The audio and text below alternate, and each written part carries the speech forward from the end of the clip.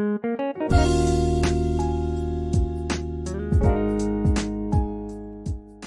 students, today we are going to continue our chapter life processes. We already uh, completed the first topic that is nutrition and let us uh, recall the topic. Hmm? So in nutrition what we have learned, what is nutrition? Nutrition means the modes of taking in food by an organism and its utilization.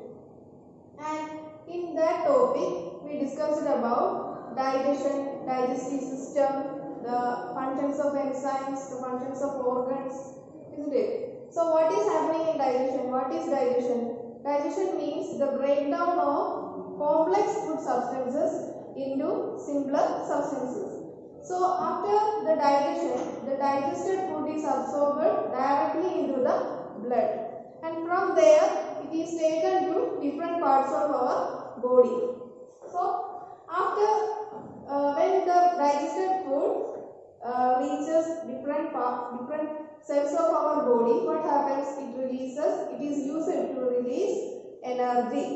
So and how in this topic we are going to discuss how energy is released from food. How energy is released from food. So the answer is respiration.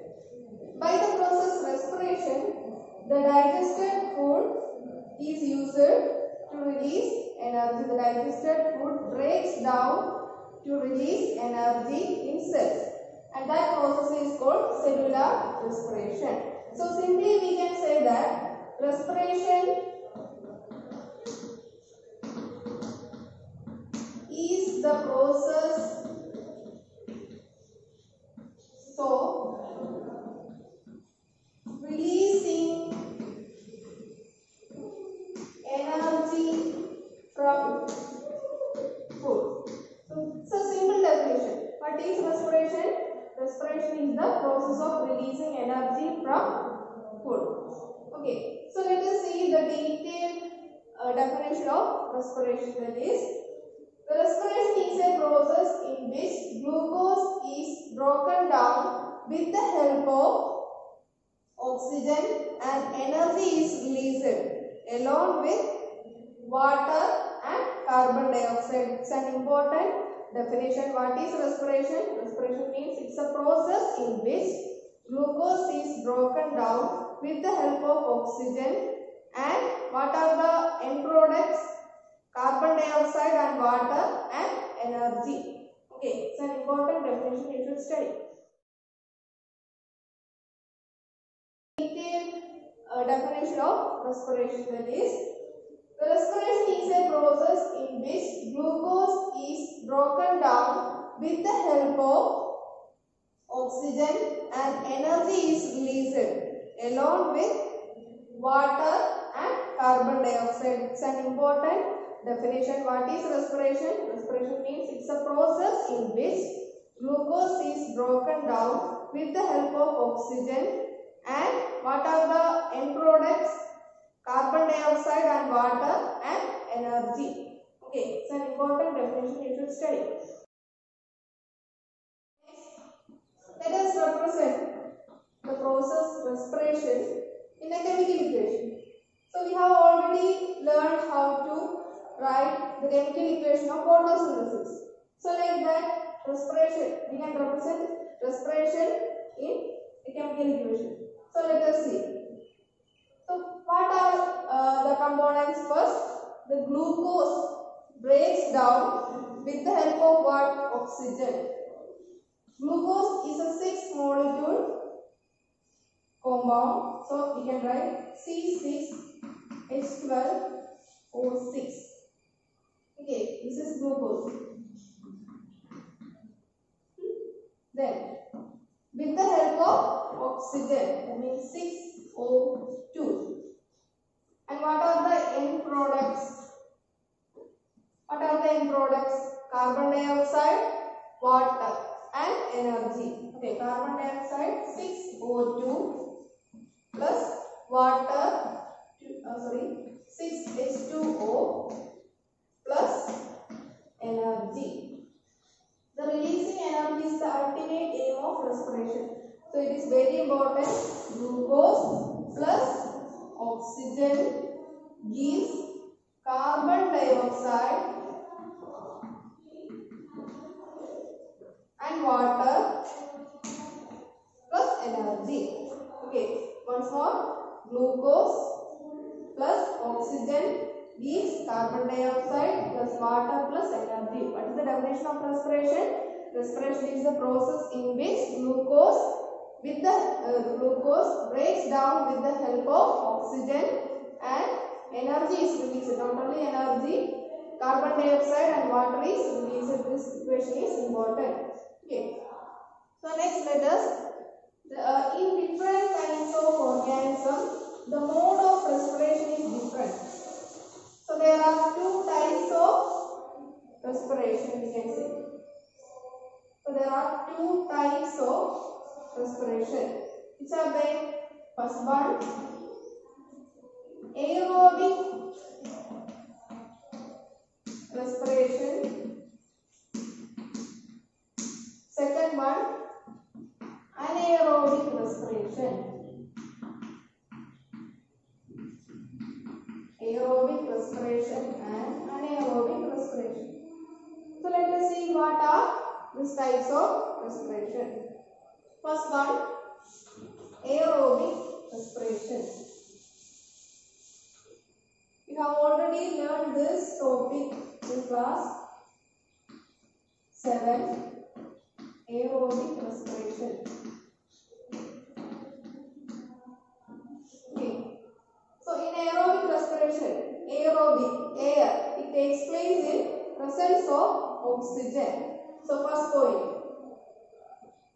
First point is it takes place in presence of oxygen. So they are called those type of process are called respiration. Okay, that means the glucose breaks down completely in presence of oxygen. So let us see the steps involved in aerobic respiration. Steps involved in aerobic respiration. First step. hmm? So first step, we know glucose is a six six carbon molecule. hmm? Six carbon glucose breaks down breaks down in presence of oxygen to form three carbon pyruvate okay what is happening first six carbon glucose breaks down into 3 carbon pyruvate. Where does it happen? It happens in cytoplasm. Cytoplasm. And you know cytoplasm in a cell, the jelly-like substance surrounding the nucleus where all the cell organelles are suspended is called cytoplasm. So this step, this process, the breakdown of 6 carbon glucose into 3 carbon pyruvate takes place in cytoplasm. The next step. Next one. So this pyruvate, the 3 carbon pyruvate again breaks down. In presence of oxygen again breaks down into carbon dioxide and water. Thus, energy is released. Carbon dioxide and water. So, the next step is the pyruvate breaks down into carbon dioxide and water in presence of oxygen. In aerobic respiration, the glucose is completely broken down into carbon dioxide and water. Okay, this is all about aerobic respiration. What is aerobic respiration? Aerobic respiration takes place in presence of oxygen and two steps are involved. Therefore, the first one, 6 carbon glucose breaks down into 3 carbon pyruvate in cytoplasm. Then second step, pyruvate breaks down into carbon dioxide and water. So this last step takes place in mitochondria. And you know the feature of mitochondria. It's a cell organelle which, which is called powerhouse of a cell. Their power, that means the energy needed for the cellular uh, processes are produced. Okay. So I think you have uh, you understood the topic. So what is aerobic respiration? In aerobic respiration, uh, the process use oxygen to break down glucose completely into carbon dioxide and water. Okay. So let, let us discuss about anaerobic respiration. Anaerobic respiration. Anaerobic respiration. Okay, anaerobic respiration, we can say that is in anaerobic respiration does not involve oxygen. It does not involve oxygen. Okay, so the glucose breaks down incompletely in absence or lack of oxygen. So let us see there are two conditions. First, we have to discuss about the aerobic res- anaerobic respiration in yeast cell. Yeast cell. Okay. Here, as we said before, the respiration takes place in absence of oxygen. Respiration takes place in absence of oxygen in yeast cell. So let us see the steps involved. The steps involved in anaerobic respiration are first. The first step is safe hmm, as aerobic respiration. So what was the first step in aerobic respiration? The 6 carbon 6 carbon glucose break the, breaks down into what? 3 carbon pyruvate. Isn't? And it takes place in cytoplasm. Okay. So it is safe. Then second step. You know, it is happening in absence of oxygen. So here the pyruvate in absence of oxygen breaks down to form ethanol.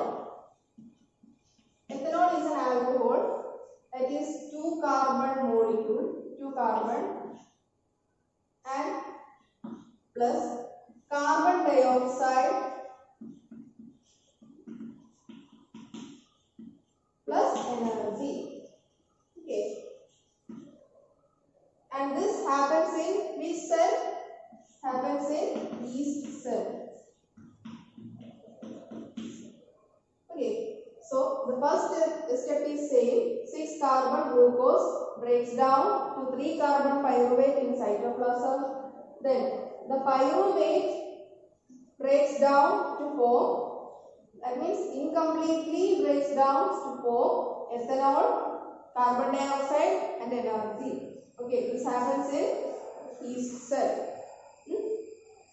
So next one more feature is there that means the energy production is the ultimate aim of respiration. So if we, if we are uh, you know we are comparing the energy production, the amount of energy produced in anaerobic respiration is with aerobic respiration, it is different. The energy produced in anaerobic respiration is lesser than aerobic respiration. In aerobic uh, respiration, large amount of high amount of energy is produced. Okay. So this is about the anaerobic respiration in yeast. So let us see anaerobic respiration in itself do not involve oxygen to break down glucose. In absence of oxygen, ethanol, carbon dioxide and energy are released. Okay. So next one, the anaerobic respiration in muscle cell. Anaerobic respiration in muscle cell. Okay, not only is a simple, sim, uh, small organisms, not only in uh, microorganisms, in our body also, in uh, the body of animals also, this anaerobic respiration takes place. How? When we are doing vigorous activities like lifting heavy weight uh, objects or running, okay, at that time what happens? We may feel a pain uh, in our leg or arms. So why that happens? Hmm? It is due to the anaerobic respiration in muscle cells in our body. At that time, we are there is no sufficient supply of oxygen to the muscle cells. Okay, so let us see. In the in anaerobic respiration, the respiration takes place in lack of oxygen, not absence of oxygen. It takes place in lack of oxygen. That means oxygen was there, but it is not. It is insufficient.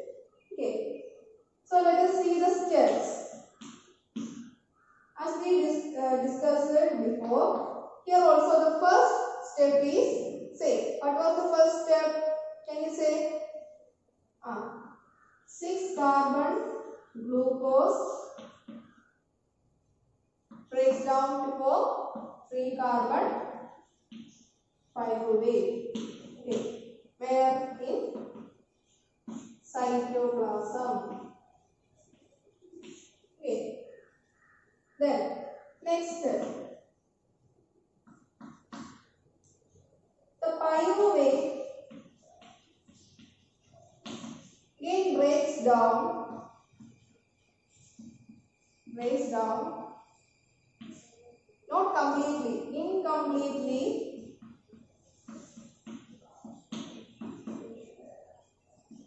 Into what? Lactic acid and energy. The pyruvate incompletely breaks down into lactic acid and energy. Okay, it is very easy to remember that means in lack of oxygen, the lactic acid is produced. In lack of oxygen in respiration, lactic acid is produced. So it is very easy to remember. Okay, so here also the amount of energy released is lesser than in aerobic respiration. Okay, so we can represent this three pathway. Actually, this is the three pathways of breakdown of glucose.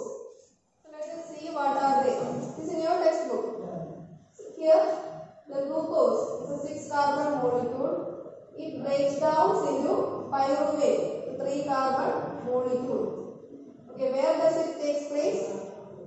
In cytoplasm. Then next, let us see the first condition. In absence of oxygen, what is happening?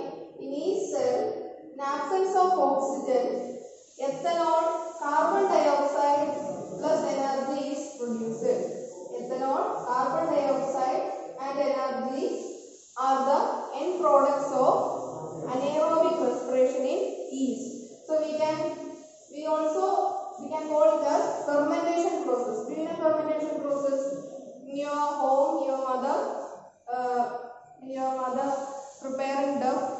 she uh, you have seen that she adding yeast into the dough. Okay, and overnight she kept it closed. Then on morning you can see the dough, the amount of dough increases, and that what is the process happening there? Fermentation. Okay. So next condition lack of oxygen. In lack of oxygen in our muscle cells, what are the end products produced? Lactic acid plus energy. And lactic acid is a three carbon molecule. Okay. Then next condition presence of oxygen. In presence of oxygen, that means aerobic respiration. In aerobic respiration in mitochondria, what happens? Carbon dioxide, water, and energy is produced. It's very important. The question may ask like mm, represent the different pathways of breakdown of glucose in a flow chart. So you have to study to draw this flow chart. It's very important.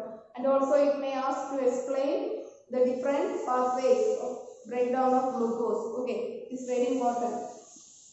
Next, and we said that the ultimate aim of respiration is producing, releasing energy. So this released energy from respiration is used to make a molecule called ATP. The energy released after respiration is used to make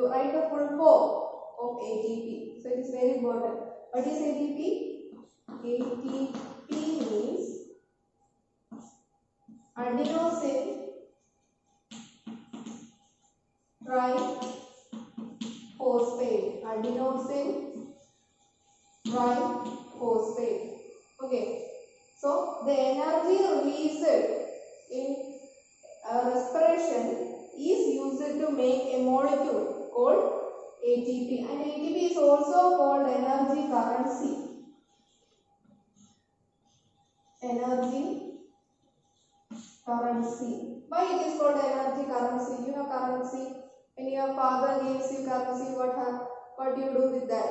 You uh, goes uh, you goes to a shop and get the candies and you give the money, isn't it? So like that, here this energy currencies, this ATPs are stored form of energy. So by breaking down this ATP, energy is produced. Okay. So how that happens? Let us see ATP. First, how ATPs are formed? How these produced? How ATPs are produced? So ATPs are produced from ADP plus phosphate gives ATP.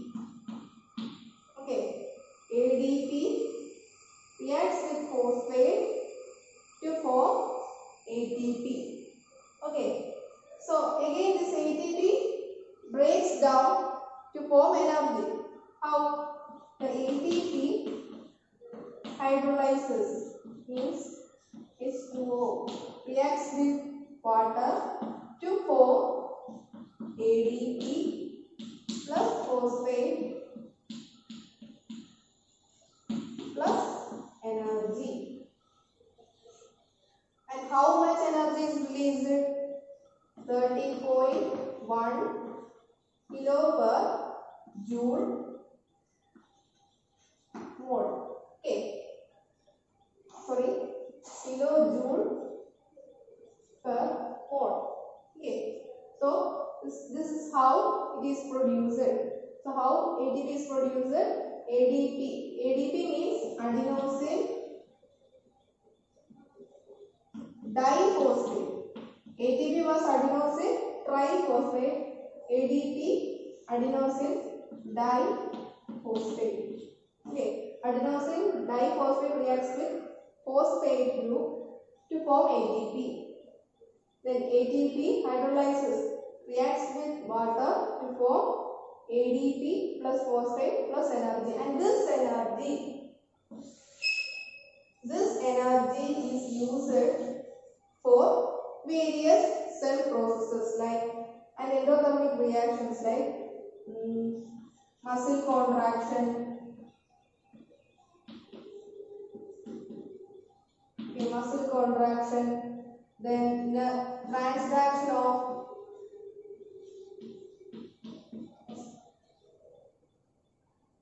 nerve impulse, nerve signals, nerve impulse. Okay, then various endothermic reactions.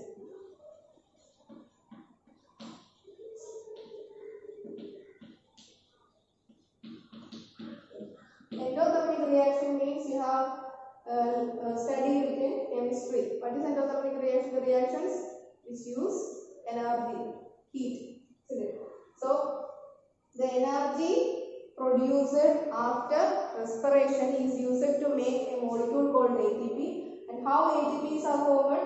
ADP plus phosphate, adenosine diphosphate, sorry, phosphate plus phosphate gives ATP. ATP plus water gives, that means here ATP breaks down to form ADP plus phosphate plus energy and that energy is used for cell processes, various like processes like muscle contraction, transduction of nerve impulse, then various endothermic reaction. So let us see. Let us revise that topic again. The energy released during cellular respiration is used to synthesis a molecule called ATP and the energy released during the process of respiration is used to make an ATP molecule from ADP and inorganic phosphate. So, ADP plus phosphate gives ATP. When phosphate linkage in ATP is broken down using water, that is what here we have seen.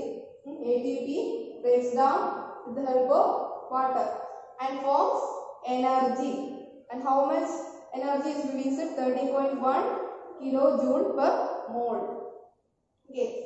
Then ATP, that reaction is represented here. ATP plus water gives ADP plus phosphate plus energy. So this ATP can be used in the cell for the contraction of muscles, protein synthesis, conduction of nerve impulses and the endothermic reactions taking place in cell. So it is very important.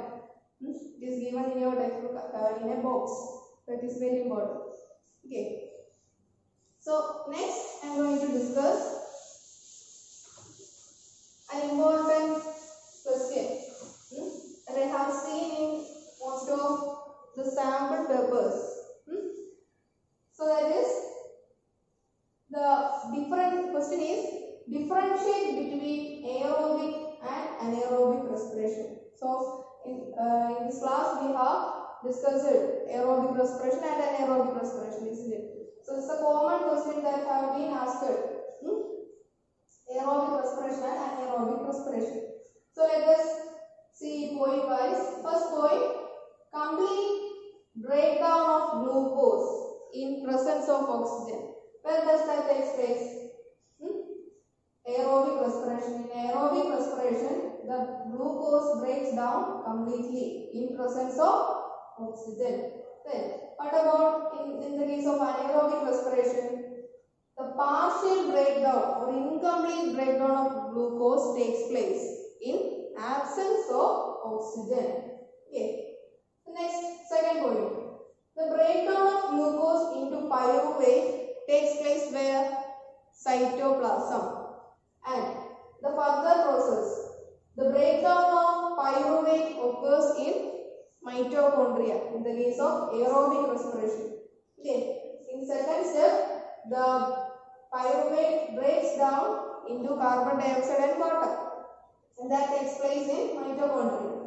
Then, In anaerobic respiration, the breakdown of glucose into pyruvate takes place in the same cytoplasm.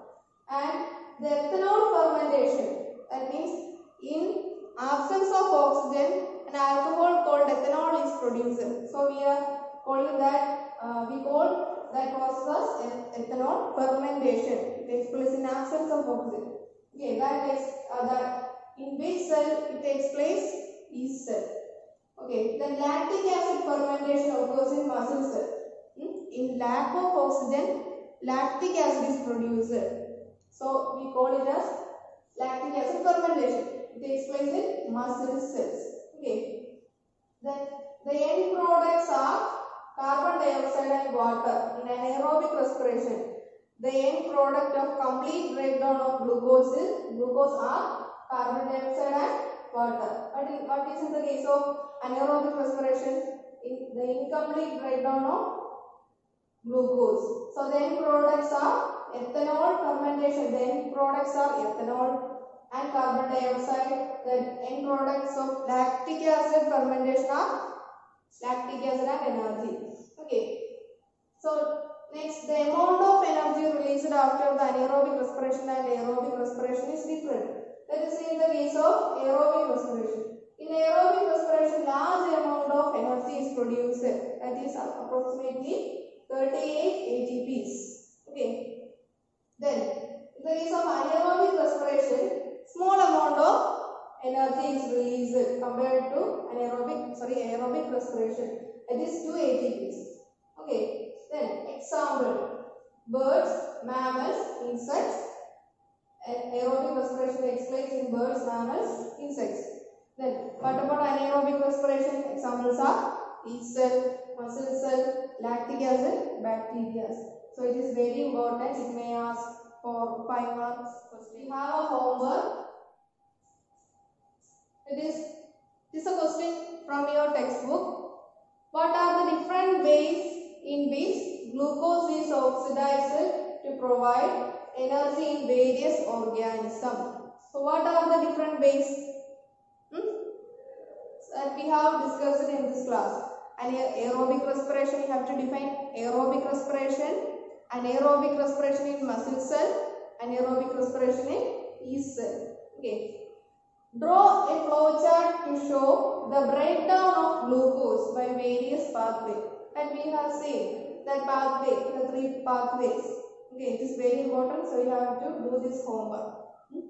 thank you